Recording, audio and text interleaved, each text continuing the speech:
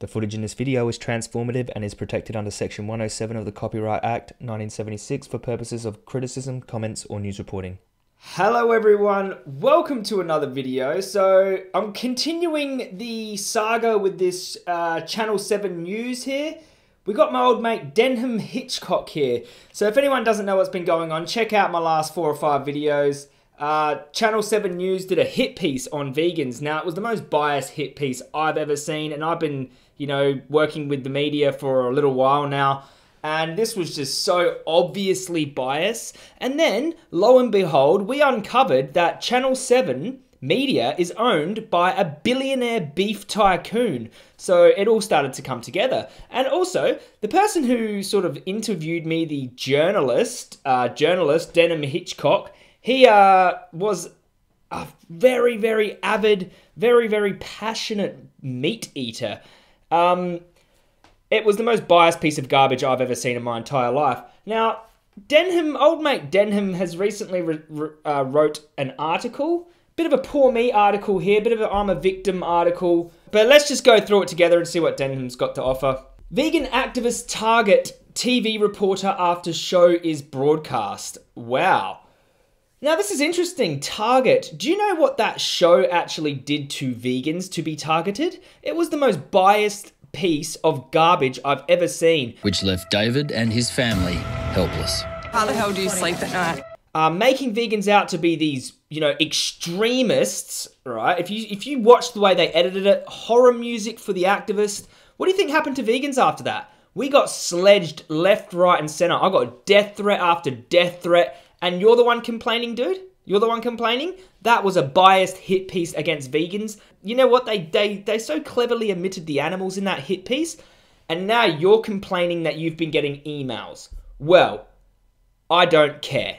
You deserve them. You being a part of that hit piece, that biased garbage hit piece against vegans, against veganism, and didn't even mention the animals, you deserve heat for that.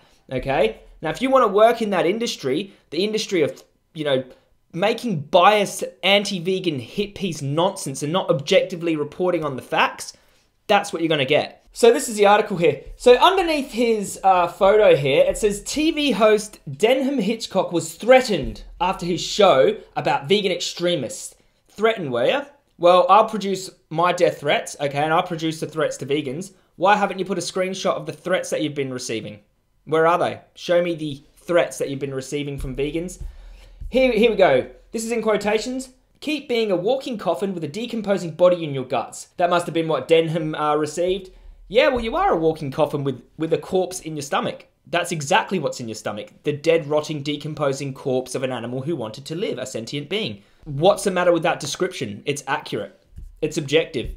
I appreciate creative writing, free thinking, and as my old man would say, a nice turn of phrase. It's not a turn of phrase, it's an objective statement. It was sent to me amongst the deluge of emails and messages triggered by last week's Sunday night story on Vegan Activist. It was the most disgra- disgraceful, garbage, bias hit piece I've ever seen, and your media company's funded by a beef mogul, and that's why. The other comments were less imaginative, but most included various forms of wishing me ill. You were promoting the consumption and brutality of animals. You know, we took you to a slaughterhouse. We discussed with you animal ethics, and you still champion meat like it's like a superfood, and you don't really address the violence. See, mo- most include various forms of wishing me ill. I don't really agree with anyone going and wishing Denham ill. You know, personally, I don't think that's really an effective way to get through to someone. But you know, perspective here: animals are literally getting stabbed, and you're part of a biased hit piece against vegans, and didn't even mention the animals, omitted the animals.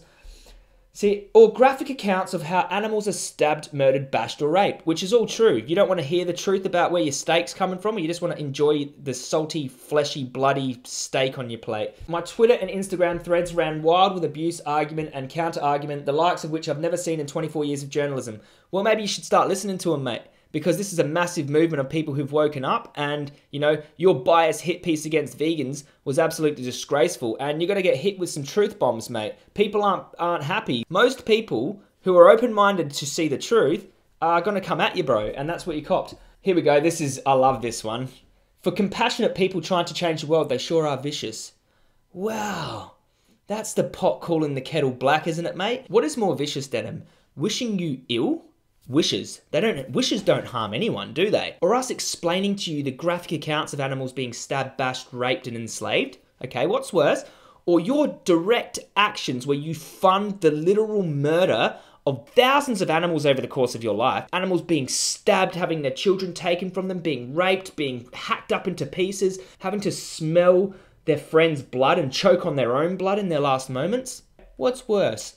Okay, now uh, it's just pure hypocrisy. But this is their weapon of choice and it is effective. So you agree that vegan advocacy online is effective? Let's just hold that thought. You agree that what vegans do in their advocacy is effective. Our interconnected online world bends and sways to the swell of trolls and minorities who gather in the darkest corners with the loudest voice. The darkest corners with the loudest voice. Hey, you saying our corner is dark? I think what happens in animal agriculture is the darkest corner ever. Now, just because it's prevalent and most of the mainstream are participating in it, once we shine light on the darkness, then the truth comes out. Veganism is the light, it's not the dark. Okay, we want peace, we want compassion, and we're anti cruelty, anti slavery, and anti animal abuse. What do you stand for? Would anyone say this to my face? Unlikely. I catch the bus. I work at Martin Place. I'm easy to find. I would say it to your face, dude. What? Tell you that, that your food choices are contributing to animal slavery, animal abuse, and animals being stabbed. I don't agree with anyone threatening you, though. I don't think that that's cool if that's what you've received. I haven't seen you post any evidence of threats, though, so we'll have to just, what, take your word for it. I, I can show you evidence. I'd love to have an, another interview with you, mate. You know, me and you on camera together. You know, We'll see. We'll see. In truth, there's something noble in the decision to become vegan. What there's something noble in not wanting to see animals be stabbed to death. It just seems like common decency to me. Doesn't seem like really that noble. Being a vegan activist is noble. Being a vegan is very neutral. It's just like I don't want to stab animals. It's like I don't want to punch people in the face for no reason anymore. You know, I used to when I was a gang member. Yeah, I used to be violent, but but me being non-violent is a neutral. You know, it's just I'm not harming anyone. I'm not really doing good. I'm just not doing any bad. That's what a vegan is, dude. You don't want another animal to be harmed in your name, so you abstain. Yeah, well, well, well, unjustified harm. Yeah, we know there's harm just from our existence. You know, there's crop deaths and there's other uh, harm that we cause just by existing.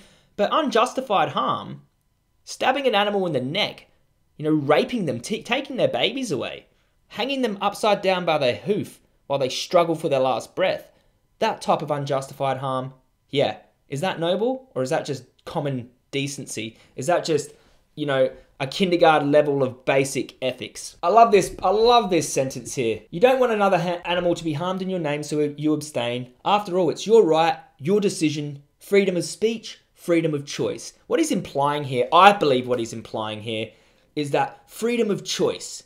You know, like I have a freedom of choice to consume animal flesh, you have your freedom of choice to be vegan. Why don't you respect my freedom of choice? You know, your choice has a direct victim of murder, slavery, subjugation.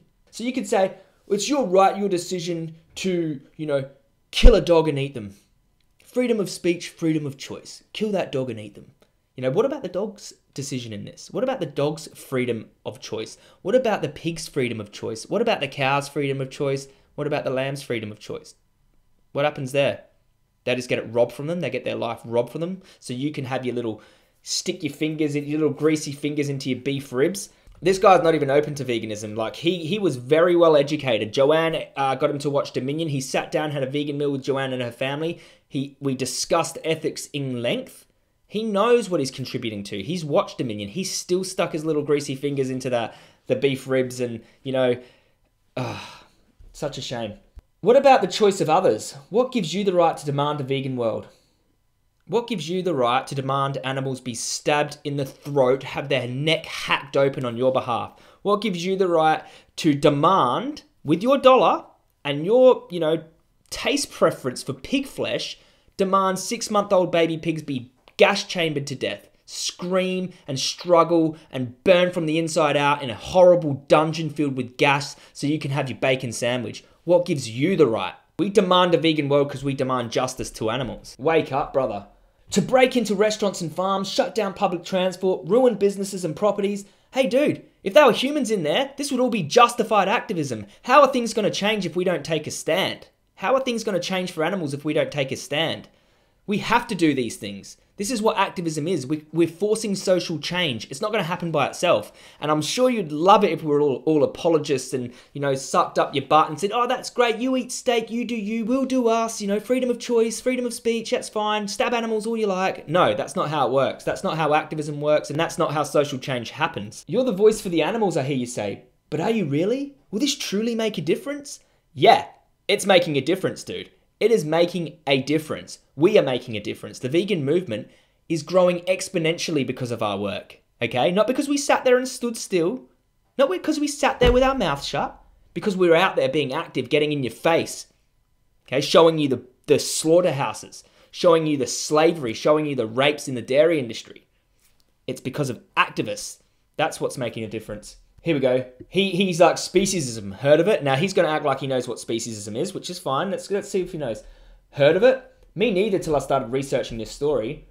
Like racism or sexism, it's inequality or disadvantage due to your species. It's discrimination based on species, buddy. buddy. Discrimination, like racism, discriminating, so treating someone differently based on species. How far do you take that? Let's have a look. Most vegans believe all animals should be equal humans, horses, sheep, and field mice. Now, I don't think animals are equal in every way. So that's kind of a straw man. Like most vegans, what have you done? Have you got statistical evidence on what most vegans believe about all animals?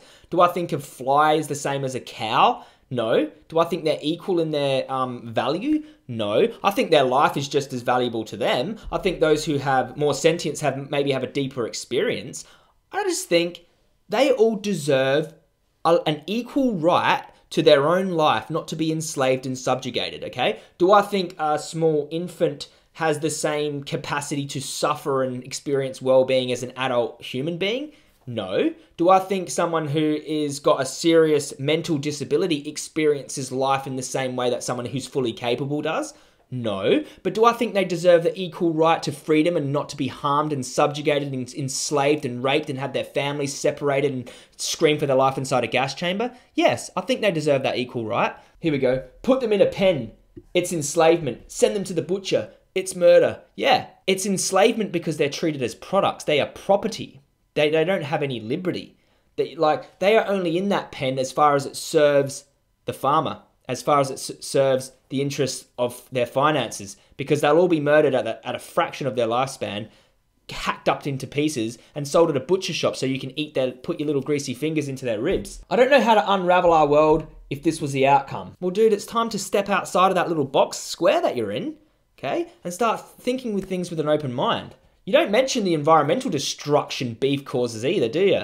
You don't mention that. We are a species who once hunted woolly mammoths, so we're a species who once raped and murdered each other and pillaged each other's villages, and you know, that's how civilizations were formed with massive genocides and holocausts. Are you going to reach back into history and determine what's moral? Conquered a planet and went to the moon. What's going to the moon got to do with ethics? Got to do with the ethics of how we treat animals. You know what I mean? Conflating, you know, techni- technological advances like going to the moon with animal ethics. Yeah, we're advancing. And you know what else is advancing? Our view on morality. The way we apply morals in society is advancing. We don't need to stab woolly mammoths to get a steak these days. We've got plant foods, and they're more environmentally sustainable and more ethical. This is interesting. Let's read this all together.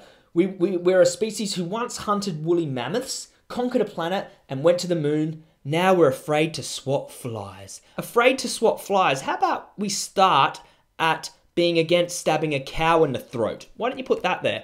Like, I love you, you narrow it down to a fly. Do I go and swat flies for no reason? No. Do I think swatting a fly is the same as stabbing an animal in the neck for a burger?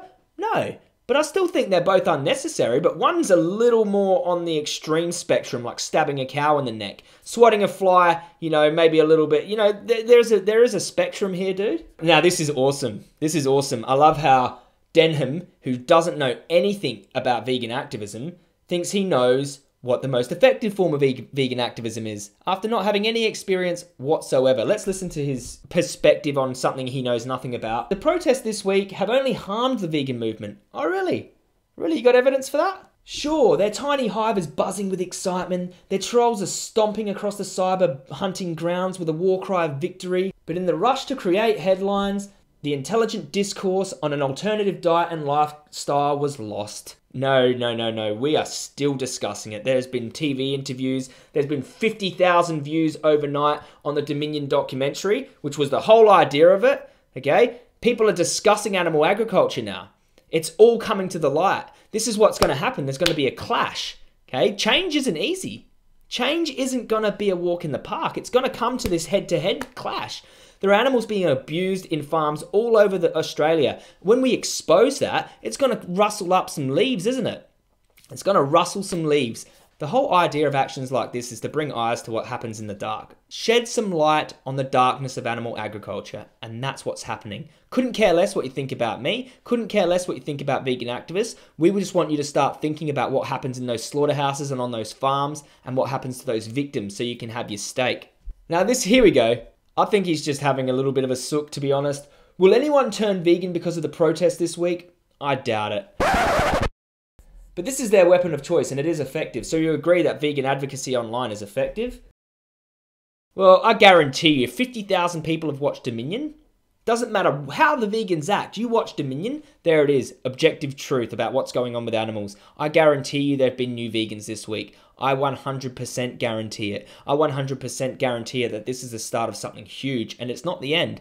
People say, you know, this this it's just pushing your ideology, you're self-righteous. This isn't just an ideology. There are victims involved. We are not going to stop till they are free. We're not going to stop, mate. This isn't this isn't the end. This is just the beginning.